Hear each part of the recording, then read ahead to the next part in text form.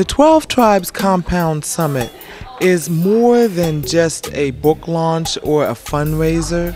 It's an event, it is a happening, it is a coming together of readers and people and fans and book enthusiasts. If I can read a book and not know where it's going to go, I'm going to have to cancel. A diversity of people 12 tribes coming together to really celebrate literacy and reading and being a part of something that is sort of like a, a cultural movement, a cultural event. And one thing that we do know is that the vampire literature, the vampire lore, tends to track with whatever's going on in society.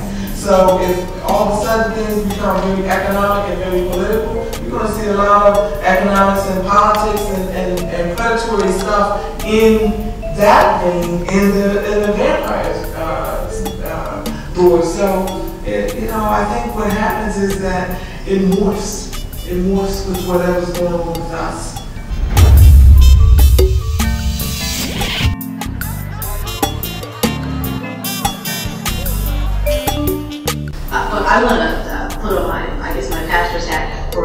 And say that, in a sense, none of this would be possible if we didn't have a culture that nourished and celebrated reading. And I'm still very much aware uh, that there are children, particularly from our minority ethnic groups, who don't believe that reading is an appropriate or useful pastime. And I think it means so much for there to be young adults and adults who actually read for fun. Uh, and so I don't take that for granted, uh, that you literally change the world and change the way a child grows up and thinks about himself or herself or their place in the world by being an adult who reads and shares a love of books in any genre uh, with people. So I encourage you to continue to do that, to buy books, to share books, because it's so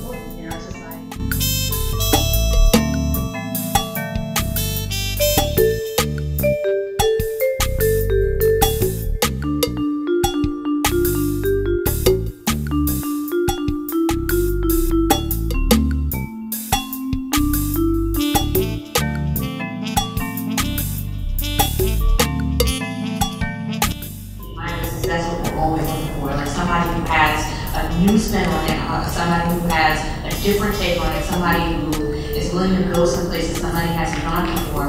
And I think that's a great thing. You know, um, there's not just like, well, you can go here or you can go here. It's, it's you know, it's as open as your imagination.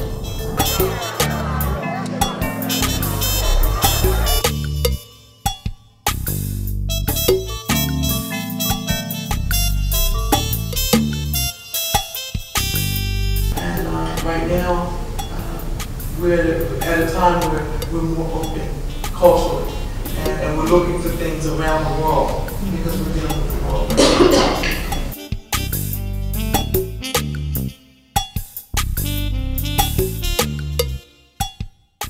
On the other hand, um, vampires are like an empty vessel, and you can pour anything you want into them. So whatever happens in the future is going to get poured into that. I hope continues to be positive.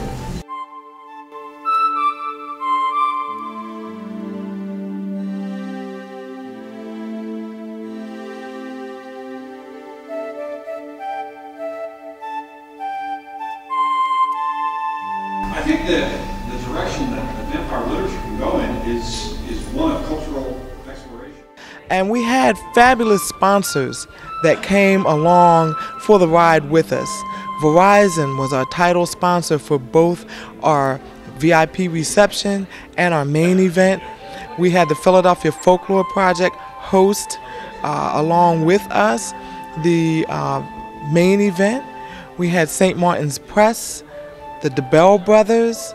Uh, we had the Greater Philadelphia uh, Tourism and Marketing Corporation, Temple University School of Tourism and Hospitality Management.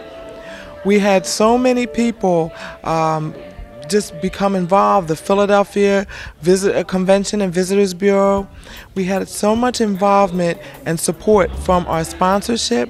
Castle of Dracula Wine came in and provided a wine tasting, and we had the Devil's Candy Store actually have a handcrafted sword that was uh, made especially for us so that we could raffle it away to one of our biggest fans through an essay contest which will be delivered on Saturday night. So th- this was more than just a normal book launch, it was a multitude of events.